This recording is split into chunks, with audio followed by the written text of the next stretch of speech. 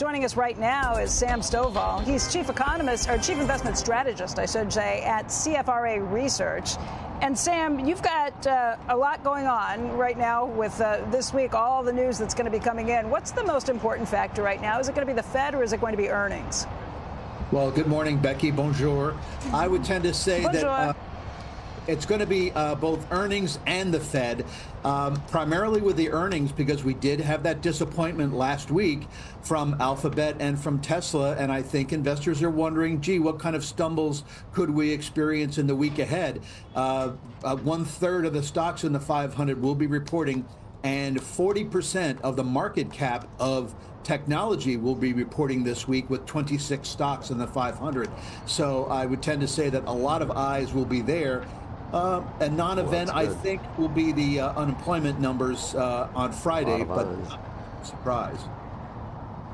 Hey, Sam, um, we've been talking an awful lot about this rotation out of the big caps into small caps. But when you've seen some big stumbles, when you've seen things like what we saw last week with some of the earnings disappointments and what some of the mega caps have done, is it enough for the small caps to kind of take over and, and carry on this rally? Will that be something that will save the averages overall? not by themselves. Uh, the mid and small cap index uh, in the S&P 1500 really only represents about 8%. So if one were to think that everybody's going to rotate out of large caps and into mid and small, it would be like saying you you think you could drain one of the Great Lakes into your backyard swimming pool.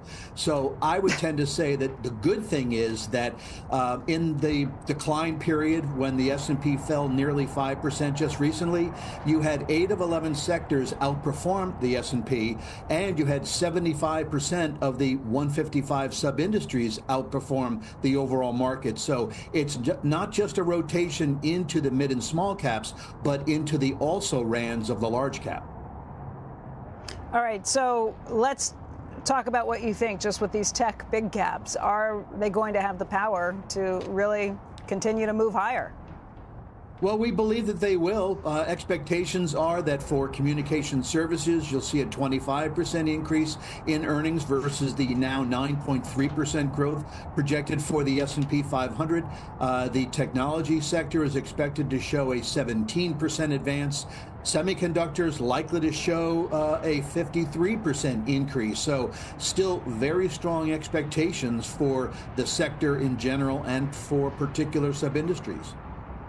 Where's the bias right now for investors? If, if we get disappointing news either from earnings or if uh, Chairman Powell sounds a little more hawkish than the markets are anticipating, is that uh, enough that it would kind of rock things? Or if you get surprises to the upside, both on in terms of more uh, dovish sentiment from Powell, in terms of better than expected numbers, is, is that something that you think will power the indexes higher?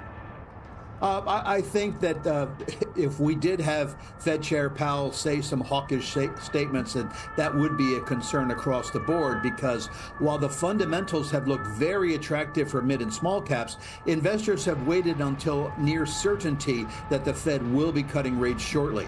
Right now, both the S&P Midcap 400, Small Cap 600 are trading at 30% relative PE discounts to the S&P 500, and that I think is what's driving the uh, rotation into these smaller companies. But if the prospect is that the Fed will continue to keep rates high, that r- increases the risk of recession, and definitely mid and smalls would get hurt more than the large caps. Okay, then let me uh, uh, move forward to the end of this week. I don't think we've spent much time uh, thinking about the jobs number because we have so much news to digest before we get there. But if that's the case, even if Powell is pretty dovish in his commentary, if we get a much stronger than expected jobs report, does that uh, put everything back in play again?